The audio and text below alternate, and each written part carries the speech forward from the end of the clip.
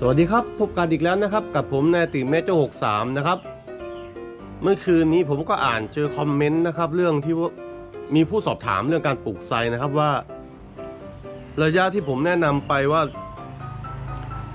30เซนติเมตรนะครับ หรือประมาณว่า 1 เมตรจะปลูก 3 ต้นนะครับเขาถามมาว่ามันจะระยะนี้จะทำให้คนกันคนเข้าได้หรือเปล่านะครับผมว่ากันได้นะครับ คือผมก็เลยมาดูที่ร้านพี่สาวใกล้ๆนะครับ ที่เขาปลูกไว้ ทีนี้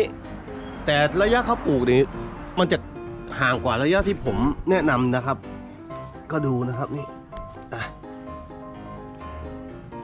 ตรงนี้มาคนเดียวก็จับสายวัดคนเดียว ครับผม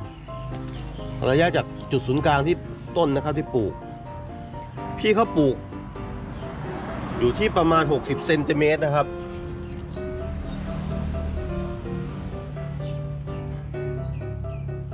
ตรงนี้ 60เซนติเมตรนะครับเห็นแล้วนะครับ 60เซนติเมตรนี่ อายุที่ปลูกก็ประมาณ 4-3 ปีกว่านะครับ เกือบ 4 ปีดิคือก็ยังมีช่องว่างนะครับ ให้คนเข้าสบายนะครับตรงนี้ แล้วก็ตรงนี้มันแสงน้อยนะครับ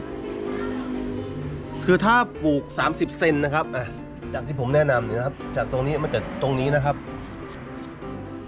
พอแตกกิ่งออกมานี่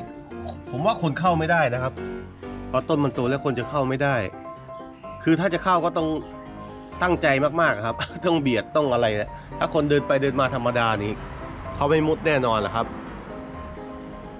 ต้องมีเจตนาร้ายเท่านั้น แล้วอีกเรื่องนะครับเรื่องรากนะครับที่ผมเคยเล่าให้ฟังนะครับนี่ว่ามันไม่ทำลายพื้นนะครับนี่ครับดูจากพี่เขาปลูกนะครับ ตรงนี้ก็เป็นตัวอาคารนะครับ ใกล้ๆนะครับ แล้วก็ตรงนี้เป็นปูนนะครับ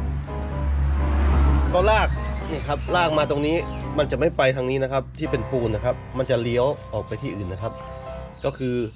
ไซเกาหลีไซชมพู่พวกนี้ไม่สามารถทำลาย พื้นปูนได้นะครับทำลายกำแพงบ้านอะไรนี่ไม่มีทางแล้วครับ เพราะว่ามันไม่แข็งแรงขนาดนั้นนะครับ ก็วันนี้ก็ตอบปัญหาท่านที่สงสัยนะครับ เรื่องระยะการปลูก ก็ผมก็แนะนำว่า 1 เมตร3ต้นนะครับ ถ้าจะเอาให้ทึบๆนะครับ แต่ถ้าเอาร่มเงาไม่ได้กันคนเข้าคนออกดี เหมือนพี่เขาปลูกก็ได้ครับนี่หกสิบเซนก็ได้ ครับ พอแตกพุ่มมามันก็ได้ร่มเงาบางดีนะครับ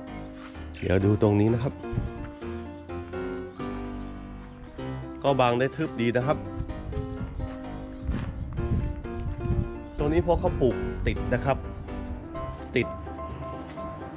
แสง พอแสงมันได้ด้านเดียวก็เลยต้นเลยจะเอ็นออกมานะครับ ก็สูงเลยครับพี่เขาไม่ได้ตัดแต่งให้มันต่ำนะครับเพราะเขาต้องการล่มสูง ก็เป็นข้อมูลอีกข้อมูลหนึ่งให้ท่านได้ทราบนะครับ ไว้พบกันคลิปหน้าครับ สวัสดีครับ